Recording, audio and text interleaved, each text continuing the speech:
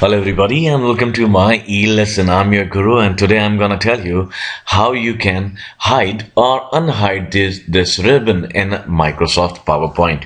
What I'm talking about is this. You see this ribbon? It's here and it's no longer here. All right. Uh, well, it's, it's, it's quite beneficial. Uh, when you want to have a larger view, then you can simply just press Control F1 Yes, that is what it says. Just press Control F1 and it's here and now it's not here. and even when you can't see the complete ribbon, even if you could, then you can just click on the headers and you this ribbon would appear for you temporarily.